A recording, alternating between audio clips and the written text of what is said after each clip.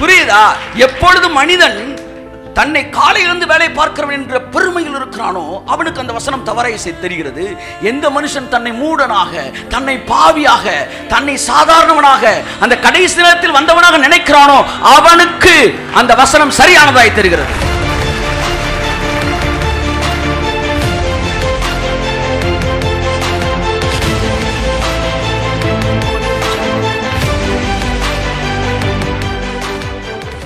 இப்போ இதை செய்கிறது சரியா?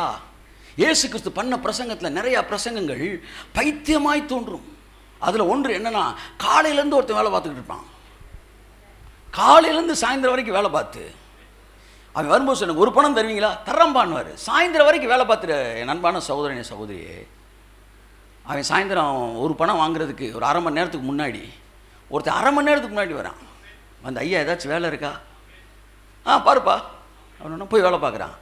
முடிஞ்ச உடனே இவனுக்கு என்ன தராரு? அவனுக்கு ஒரு ரூபா தராரு. இவனுக்கு குறைச்சி தருவாருன்னு நினச்சா இவனுக்கும் ஒரு ரூபா தராரு. இதை ரைட்டு நேசனார் பேசுகிறார் இது எவ்வளோ பெரிய கொடுமை? இதை கொடுமை எத்தனை பேர் சொல்கிறீங்க சொல்லுங்கள் நீ கொஞ்சம் விவரமாக இருக்கீங்க. இப்போ கொடுமை இல்லைன்னா ஏன் கொடுமை இல்லைன்னு இப்போ மைக்கில் வந்து நீ எக்ஸ்ப்ளனேஷன் கொடுக்கணும். நான் கேட்டேன் ஆண்டவரே தப்பு. இது பெரிய தீங்கு. நீங்கள் இந்த மாதிரி செஞ்சுருக்கவே கூட நியாயம்னு ஒன்று இருக்குல்ல சார். நீ காலையில் வந்து உனக்கு எப்படி ஒரு ரூபா கொடுக்க போச்சு? இந்த சாயந்தரம் வந்தவனை எப்படி நீங்கள் சமமாக்க போச்சு? ரொம்ப நேரம் பேசிக்கிருந்தாரு. சரி என்ன வேணாலும் கேள்வி கேளு ஒரு சின்ன இன்ஸ்ட்ரக்ஷன் அதெல்லாம் அப்புறம் சொல்லுங்கள் இல்லைப்பா எனக்கு ஒரு நிமிஷம் பேச விடுப்பா. அதெல்லாம் அப்புறம் பேசுங்க. நீங்கள் எப்படி இந்த சாயந்தரம் காலையில் சமமாக்க முடியும்? ஒரே ஒரு நிமிஷம் என்ன பேச வரியா பேசு. இந்த சாயந்தரம் வந்தா இல்லை அது நீ சரி இப்போ சொல்லு என்ன பஞ்சாயத்துனார்? ஆ? ஒரு பஞ்சாயத்து இல்லை. இல்லை புரியுதாடா வசனம் நல்லா புரியுது. தெளிவா புரியுதுட்டு இல்லை எதுவும் தப்பா? ஆ நீங்க பார்த்து செஞ்சா எல்லாம் சரியா தான் இருக்கும். கையெழுத்து புரியுதா? எப்பொழுது மனிதன் தன்னை காலையிலிருந்து வேலை பார்க்கிறவன் என்ற பெருமையில் இருக்கிறானோ அவனுக்கு அந்த வசனம் தவறை தெரிகிறது.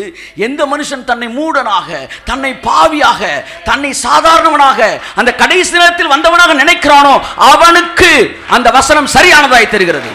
நீங்கள் நீதியின் அடிப்படையில் நகர்கிறீர்கள். You are moving in perfection ஆனால் தேவனோ அன்பின் அடிப்படையில் நகர்கிறார். அவருடைய பார்வைக்கு அது சரி. இப்போ அவர் என்ன லாஜிக் சொல்றாருன்னா காலையில் வந்தவங்க வாப்பான்னார் என்னங்க? என்னை குறைச்சி கொடுத்தேன் குறைச்சி கொடுத்தனா கேட்டதை கொடுத்தனான்றார். கேட்டதை கொடுத்தேன். நீ கேட்டதை குறைக்காம கொடுத்தனா இல்லையா? உனக்கு கொடுத்துட்டேன். எது இந்த குறைச்சி வச்சேனா இல்லை. ரைட்டு உனக்கு கொடுத்த மாதிரி இவனுக்கு கொடுப்பதும் கொடுக்காமல் இருப்பதும் என்னுடைய விருப்பம். என்னுடையதை என்னுடைய இஷ்டத்தின்படி நான் செலவழிக்க எனக்கு உரிமை இல்லையா இப்போ உன் பிரச்சனை உனக்கு குறைச்சி கொடுத்தன்றது இல்லை. உன் பிரச்சனை அவனுக்கு ஏன் கூட்டி கொடுத்தீங்கன்றதுதான்.